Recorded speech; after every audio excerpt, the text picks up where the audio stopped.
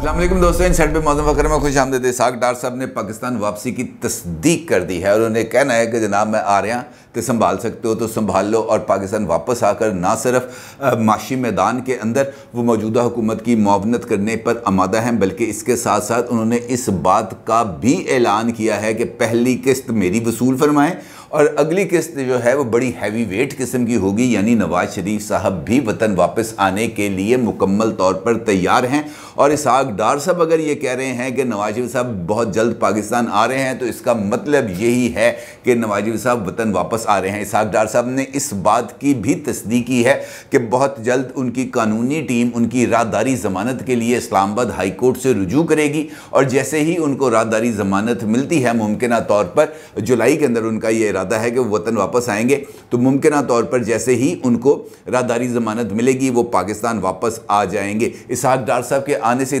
कौन सी बड़ी तब्दीलियाँ आएँगी और क्या नवाज़ शरीफ साहब की वतन वापसी इस वक्त की सूरत हाल के अंदर मुस्लिम लीग नून के मोमेंटम को थोड़ा सा बूस्ट दे सकेगी? इस वक्त की जो महँगाई की लहर है जिसकी वजह से मुस्लिम लीग नून बहुत ही ज़्यादा क्रिटिसिज्म का शिकार है क्या उससे बच पाएगी? इस सारी सूरत हाल पर आपके साथ बात करूँगा ज़रा डिटेल से।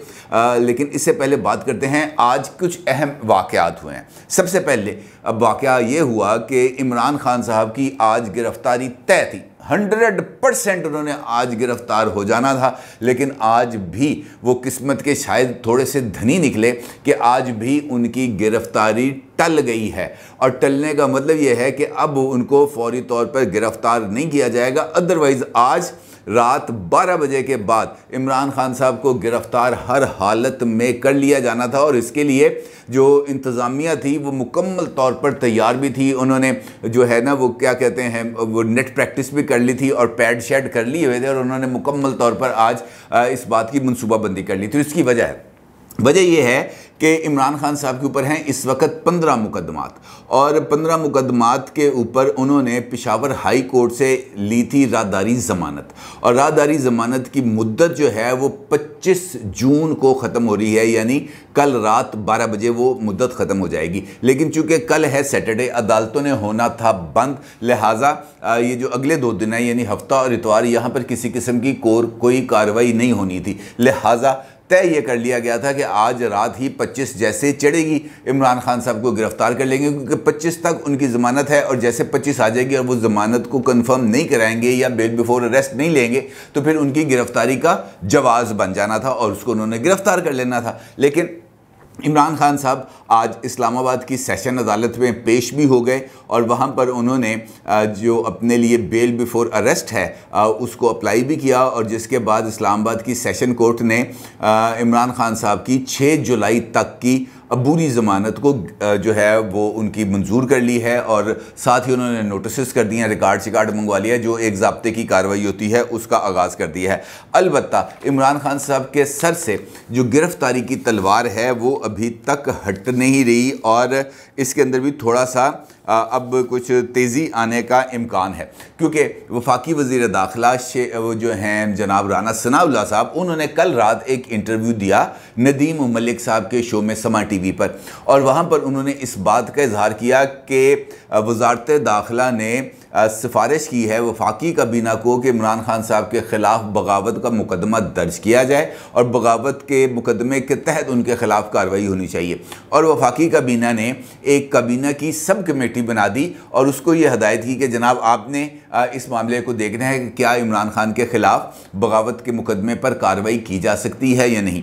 अब उस काबीना की सब कमेटी ने वफाकी काबीना को अपनी एक रिपोर्ट पेश कर दी है उस इजलास में जो कल हुआ था। अच्छा उस इजलास के अंदर जो सब कमेटी है, उसके जो मेम्बरान हैं जो मौलाना फजलरहमान के साहबजादे हैं, मौलाना असदुररहमान साहब, पीपल्स पार्टी के लीडर हैं, कमर जमान कायरा साहब, जो प्राइम मिनिस्टर के इस वक्त जो हैं मामले खसूसी हैं उसके साथ वज़ीर दाखिला थे, राना सनाउल्ला साहब, और उनके साथ वजारत दाखिले के कुछ और हुकाम थे। अच्छा इस सब कमेटी ने सिफारिश कर दी है कि जनाब इमरान खान साहब के ख़िलाफ़ बगावत का मुकदमा दर्ज कर लिया जाए। अब राना सनाउल्ला साहब का ये कहना है कि जनाब, हम उनको गिरफ़्तार करने के लिए मुकम्मल तौर पर रेडी हैं, मुकम्मल तौर पर तैयार हैं। अब सिर्फ़ वफाकी काबीना ने इस रिपोर्ट के ऊपर फैसला देना है, क्योंकि बगावत की कार्रवाई जो है वो वफाकी काबीना की मंजूरी के बगैर नहीं हो सकती। अब जैसे ही वफाकी काबीना इसकी मंजूरी देगी और उससे पहले इतिहादी जमातों के सरबरा इस बात की मंजूरी देंगे कि जनाब इमरान खान के ख़िलाफ़ कार्रवाई करने के लिए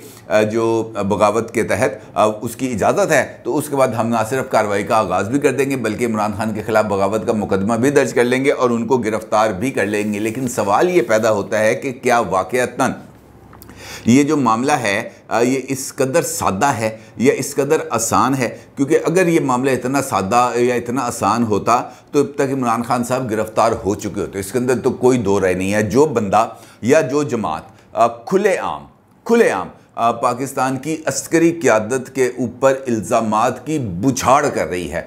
वो क्यादत जो पाकिस्तान की अस्करी क्यादत के बारे में वो अल्फाज जो बंदा एक वक्त था जो एक दूसरे के साथ जो है वो कॉन्वर्सेशन के अंदर भी इस्तेमाल नहीं कर सकता था।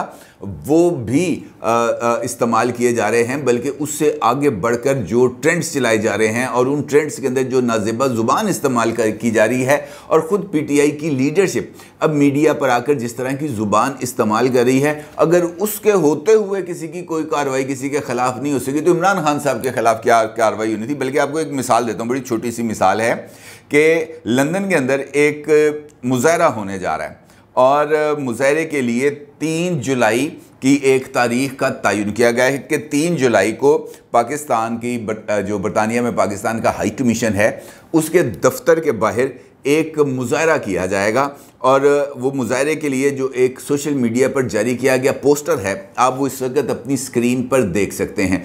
और उसका उनवान है general Qamar Bajwa must go.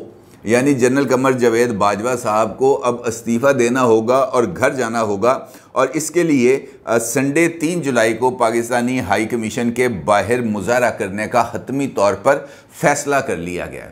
यानी ये मामला अब यहाँ से निकल कर आगे चल गया, क्योंकि थोड़े दिन पहले कनेडियन पार्लियामेंट के अंदर भी जनरल बाजवा साहब के हवाले से वहाँ के जो मिनिस्टर हैं, उन्होंने भी कोई तकरीर की थी और उसके ऊपर भी यहाँ पर बहुत ही ज़्यादा शोर मचा था, लेकिन उसके बाद कोई कार्रवाई नहीं थी। हुकूमत ने उस पर मुकम्मल तौर पर खामोशी इख्तियार किए रखी थी, जबकि पी टी आई के सोशल मीडिया अकाउंट से वो जो क्लिप है कैनेडियन रुकन पार्लियामेंट का, वो बहुत ज़्यादा वायरल किया गया था, जिसके बाद फिर दफ्तर खारजा की मेरा ख्याल है कि थोड़ी बहुत खचाई, सिंचाई की गई है, जिसके बाद कैनेडियन हाई कमिश्नर को भी दफ्तर खारजा तलब किया गया है और जनरल कमर जावेद बाजवा साहब के ख़िलाफ़ जो ज़ुबान इस्तेमाल की गई, उसके ऊपर एहतजाज भी किया गया है और उनको भी एक एहतजाजी मरासला दिया गया है और वहाँ पर होने वाली तकरीर को पाकिस्तान के अंदरूनी मामलात में मुदाखलत करार दिया गया है। यानी वही डी मार्च वाला मामला जो इमरान खान साहब के दौर के अंदर नहीं हुआ था, अमरीकी सफ़ीर को बुलाकर जब ये साजिश वाला बयानिया चल रहा था तो उस वक्त भी ये डी मार्च किया गया था और अब भी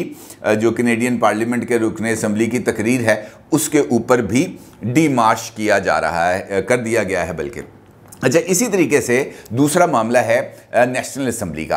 आज नेशनल असम्बली के अंदर मिफ्ता इस्माइल साहब ने अपना जो बजट के ऊपर अपनी जो कॉन्क्लूडिंग स्पीच है, वो की है, लेकिन उस स्पीच करने के बाद भी उनको कुछ सुकून का सांस लेना नहीं पड़ा, क्योंकि उस तकरीर के बाद ख़ुद भी मिफ्ता इस्माइल साहब को तनकीद का निशाना बनना पड़ा, बल्कि ख़ुद उनकी अपनी ही जमात के जो रुकने असम्बली हैं, सबक स्पीकर हैं, नेशनल असम्बली के सरदार अयाज सादिक साहब, उन्होंने तो मफ्ता इसमाइल साहब को डाकू तक कह दिया।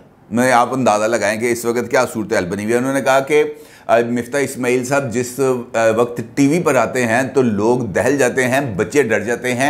बिल्कुल उसी तरीके से, जैसे पुराने ज़माने के अंदर वो डाकू आया डाकू आया का ज़िक्र होता था और बच्चे सहम जाते थे। वो नहीं अमूमन मिसाल दी है कि सो जाओ वरना गब्बर आ जाएगा। वो जो शोले फ़िल्म थी, इंडियन, वहाँ का ये एक बड़ा मशहूर डायलॉग है और इसी की तकरीबन मिलती जुलती बात की सरदार अयाज सादिक साहब ने, जिस पर वहाँ पर कह के भी लगे, लेकिन ये बात वाक़ता हकीकत पर मबनी अब अब आ, इसको हम कह सकते हैं। उसकी वजह यह है कि मिफ्ता इस्माइल साहब के आने का मतलब यह है कि लोग ये समझते हैं कि जनाब अब हमारी खैर नहीं है। कोई ना कोई बुरी खबर है जो मिफ्ता इस्माइल साहब टीवी पर आ गए हैं और टीवी पर आकर वो हमें यकीनी तौर पर कोई बुरी खबर सुनाएँगे। अलबत्त आज नेशनल असम्बली के अंदर मिफ्ता इस्माइल साहब ने तो कोई खबर नहीं सुनाई। अलबत्त जो आज काबीना की माशी टीम का जो इजलास था, उसके बाद शबाज शरीफ साहब ने खबरें कुछ सुनाई हैं और उन्होंने एक सुपर टैक्स वन टाइम, यानी एक दफ़ा के लिए लगाने का ऐलान किया है और उनका ये कहना है कि ये दस फ़ीसद की शरह से सुपर टैक्स लगेगा और ये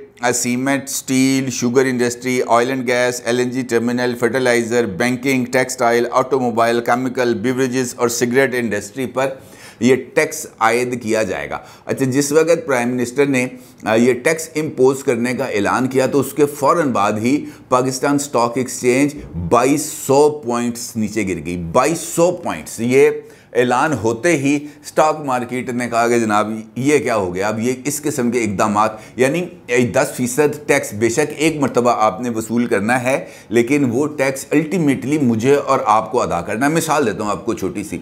बेशक हम कोई इतना ज़्यादा हमारे लिविंग स्टैंडर्ड्स नहीं है, लेकिन फिर भी बिजली और गैस, ये तो हर एक घर की ज़रूरत है। जब हम ऑयल एंड गैस के ऊपर 10 परसेंट सुपर टैक्स लगाते हैं तो इसका क्या मतलब है? इसका मतलब ये है कि 10 परसेंट एक साल के लिए उस इंडस्ट्री पर टैक्स लगेगा और तकरीबन ये बन जाता है कोई नौ परसेंट के करीब पर मंथ।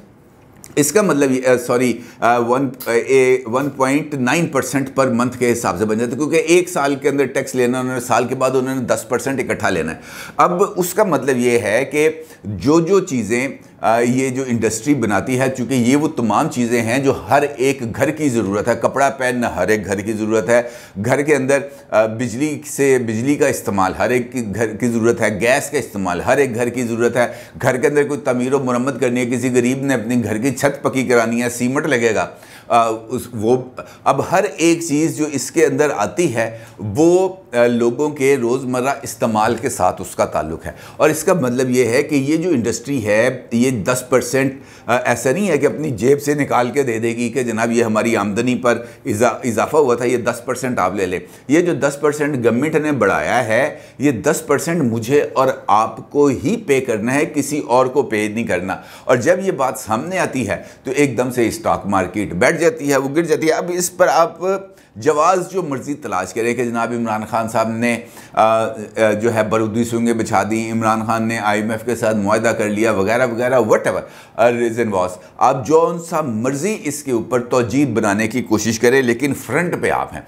ये मानना मानना जाना चाहिए कि हुकूमत की तरफ़ से ये कहना ख़ुद प्राइम मिनिस्टर शबाज शरीफ साहब की तरफ़ से ये कहना कि हमारे लिए बड़ा आसान था कि हम इंतबी असलाहत कराते और इसम्बली को घर भेज दे इलेक्शन में चले जाते अपनी साख बचा लेते। लेकिन हमने अपनी साख बचाने की बजाय रियासत को बचाना ज़्यादा ज़रूरी समझा और हम रियासत की कीमत अदा करेंगे अपनी पोलिटिकल साख से। मतलब ये एक सियासी नारा तो हो सकता है, लेकिन इसका हकीकत के साथ कोई ताल्लुक नहीं है, क्योंकि अल्टीमेटली ये जो बोझ है, ये मुझ पर और आप पर ही आएगा और इससे इनकार अब किसी भी तौर पर मुमकिन नहीं है। अब ख़ुद अगर इस किस्म की बात की जा रही है, इस अयाज सादिक साहब की तरफ़ से तो इसका मतलब यह है कि हकूमती बेंचेस पर बैठने वाले अफराद को भी इस हकीकत हकीकत का अच्छे तरीके से अंदाज़ा है कि जनाब, अगर हमने इस वक्त इन चीज़ों को कंट्रोल ना किया, ख़ास तौर पर ये जो महँगाई है, और महँगाई होगी ऑब्वियसली होगी, क्योंकि जब बिजली की कीमत बढ़ेगी, महँगाई होगी, जब पेट्रोल की कीमत बढ़ेगी, महँगाई होगी, जब टैक्सेस लगेंगे, महँगाई होगी,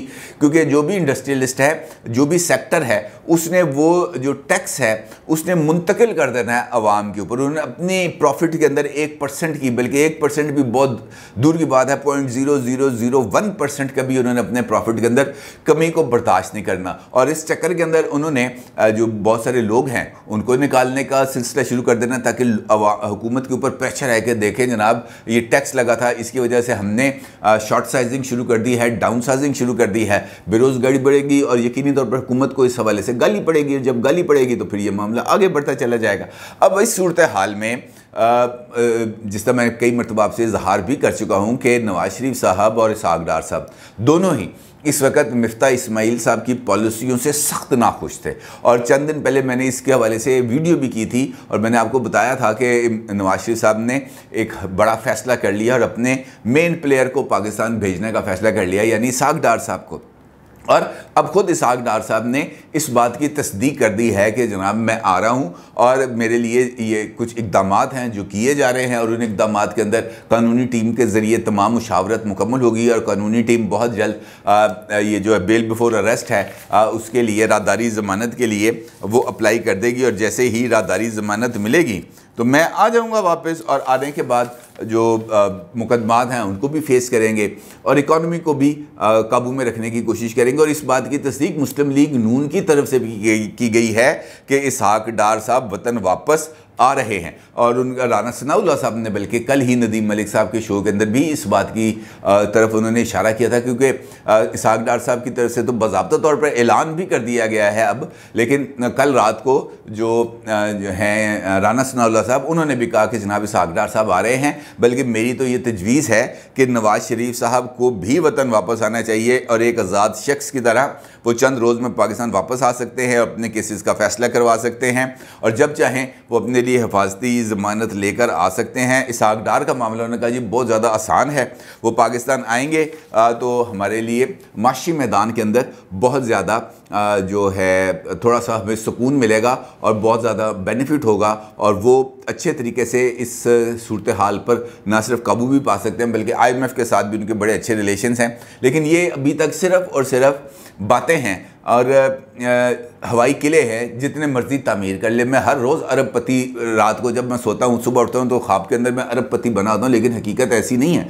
हकीकतें मुख्तलिफ़ होती हैं ख्वाबों के ज़रिए। असल में उस वक्त आपको अंदाज़ा होता है, जब आप खुद मैदान में उतरते हैं, जब आप देखते हैं कि प्रॉब्लम्स क्या हैं, और इन प्रॉब्लम से बाहर निकलने का रास्ता क्या है। इसहाक डार साहब लंदन बैठे हैं, उन्हें इस वक्त पाकिस्तान की डाटा यहाँ से यकीनी तौर पर शेयर किया जाता होगा उनके साथ। लेकिन यहाँ पर लोगों के ऊपर जो पहाड़ टूट रहा है, उसका शायद उनको लंदन बैठ के इतना ज़्यादा अंदाज़ा नहीं है। लेकिन जब वो पाकिस्तान आएँगे, जब वो आकर यहाँ पर ख़ुद हालात देखेंगे, जब यहाँ पर आकर वो ख़ुद इस बात का अंदाज़ा करेंगे कि लोग किस कर्ब और किस अजाब से दो चार हैं तो फिर शायद आ, उनको आ, आ, जो है बहुत सारे फ़ैसले लेने में बहुत ज़्यादा मुश्किल होगी। क्योंकि ये फ़ैसला करना तो बहुत ज़्यादा आसान काम है। ना टैक्स लगा दो ये फ़ैसला करना तो बहुत ज़्यादा आसान है कि कीमत बढ़ा दो। लेकिन लोगों को रिलीफ देने के लिए उनकी ज़राए आमदन बढ़ाना ये बहुत ज़्यादा मुश्किल है। क्योंकि इस ज़राए आमदन बढ़ाने के लिए आपको माशी एक्टिविटीज़ बढ़ाना होगी।